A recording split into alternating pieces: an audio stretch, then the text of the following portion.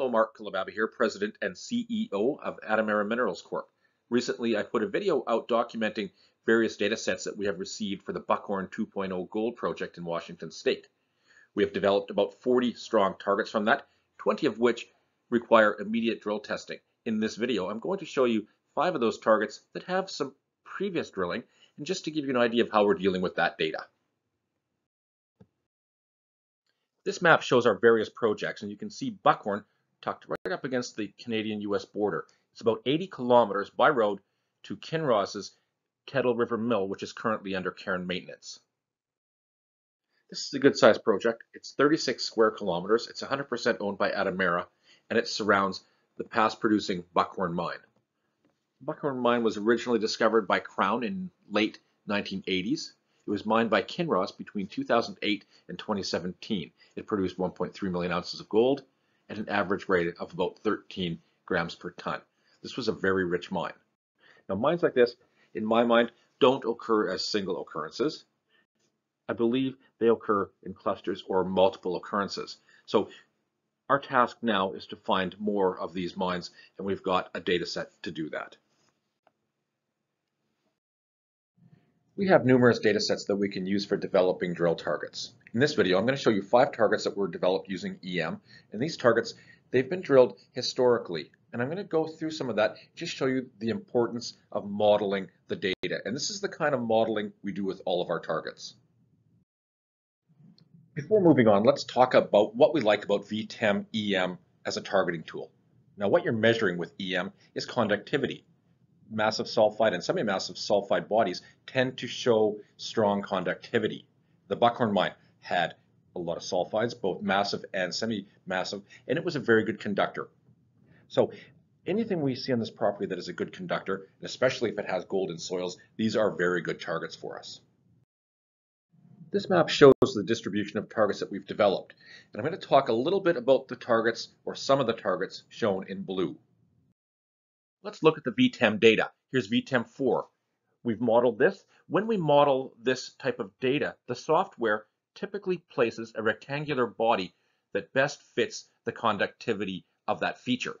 Now, in this case, we have a body or a modeled plate in this location. Now let's look at some of the previous drilling. Here's a vertical hole, didn't hit the target. Here's another hole, this is angled. Now this looks like it might hit, but when we look at the trace of that drill hole, wow, that just missed it. What we want to do is put a collar here and drill across the plate to see if there's any mineralization causing that conductor. Keep in mind that much of the historic drilling was completed decades before the VTEM survey was flown.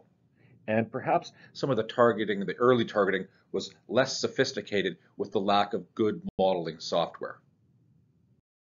Here's VTEM 7. This is a pretty good sized target. We've got a model plate that runs like that. Let's look at the previous drilling. Vertical holes, three of them. One gets pretty close to the target, but still on the very edge. What would we want to do with that? Put a couple of collars in and drill across the target, again, to see if there's any mineralization causing that conductor. VTEM 17. Here's the plate. Quite a few drill holes, not sure what they were targeting. I like this one. It's an angled hole. It misses the plate. Now, what would we do with that? Here's our collar. We drill across the anomaly. VTEM 14. Here's the plate. Previous drilling. One more hole. That's an angled hole. Does it go across the target? No, it goes in the complete opposite direction again. Now, what do we want to do? Put a collar in, drill across the plate. Now, sometimes when we look at this data, we find surprises. Looking at the previous drilling here, here are some really nice little surprises. 8.2 grams per ton over 1.2 meters of drilling, 2.1, and 4 grams per ton gold. So that is a separate target, and we'll model that using our magnetics. Let's carry on looking at the EM. Leave the best to last. VTEM 15, I really like this target. Here's the plate. Previous drill hole collars. Some of those holes are angled. Here's another collar that was put in. That hole just misses the target. This one grazes the edge of the plate. And in fact, that hole has some lower grade intercepts of gold on either side of that plate. Where would we drill it? Here we put a collar in and drill across the plate. Now, as I mentioned in the last slide, sometimes we find some surprises. Well, here's some beautiful surprises. 17.2 grams per ton gold over 1.2 meters and 2.2 and 3.3 grams per ton over 1.2 and 1.3 respectively. Now, those are, again, various targets that we will have to look at with the magnetics. These are not that far from that target, but it certainly tells you that this is a good area. There's gold in the area. And 17.2 grams per ton, that hole does not look followed up, and that's something that we're going to work on. With 30 years of data collected, we put a value on that of about $15 million, and I really do believe this is going to advance our efforts by at least six years. We're not having to spend time looking or building targets or building data sets that we can use for targeting. That is done. Our focus now is on permitting and drilling and making the discovery of the next mine in this area. Thank you for taking the time to watch this video. And do stay tuned. I'm going to keep putting these out. I'm going to start to break down individual targets a little bit more closely. I think the next one I will do will likely be Keystone. And that is a really interesting target, and I think you'll enjoy it. Thank you very much.